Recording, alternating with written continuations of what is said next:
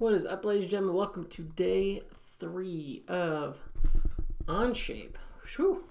Got used to saying Autodesk Fusion for so long, I have to get used to saying Onshape. Anyways, so with us today, working on that Revolute command and how to do completed profiles. So let's start from scratch. Let's create, document, and let's call this Revolute. All right. So the first thing we're gonna do is we're gonna click on Sketch, go to front, and remember when we click on a sketch, just get in the habit of finding that whatever plane you're on and making it flush with your view. That way nothing is uh, kind of out of whack.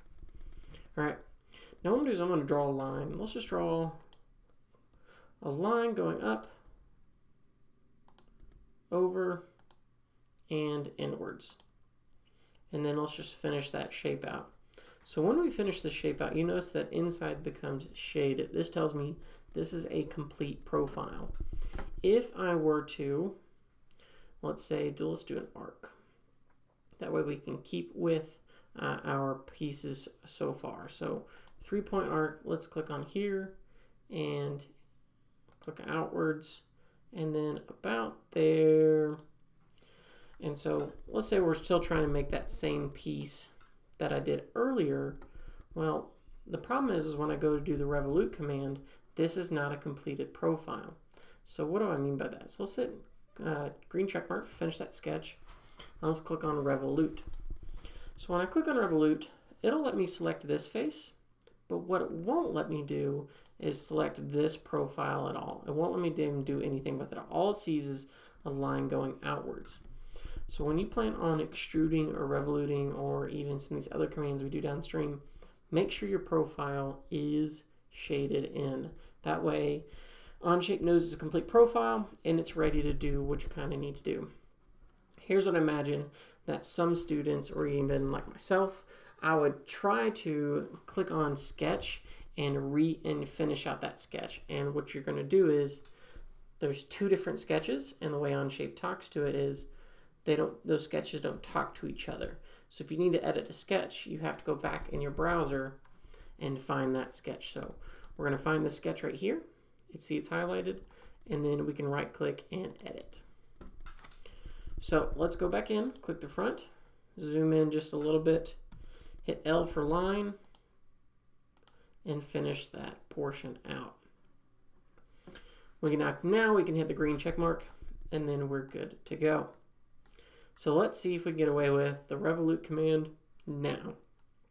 If I click on this face, I have to click on this face too.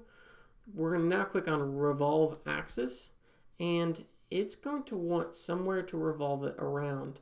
And this center line right here looks okay. There we go.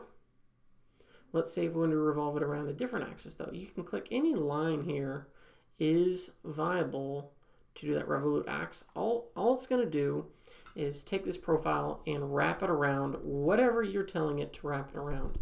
So we can click this one and kind of get a different bowl shape. Um, or let's see, click on front again. Let's see if I can go in and let's do revolve axis. Let's see if I can do it around this center line right here. Will let me do it? No, because you ran into a problem. It won't revolve it and it won't do geometry that will wrap around itself. So we do have to select an outside line. Looks okay. Let me click the green check mark and that revolve is finished. This is really helpful if you have nice rounded off pieces. Usually anything that's a circle is probably going to be a revolve. Um, but there you go, ladies and gentlemen. If you have any questions, let me know. But we're officially done with day number three of Onshape. If there's anything you'd like me to do specifically or need help on, feel free to shout out or reach out to me in whatever way you deem you need. Until then, I will see you on the next video.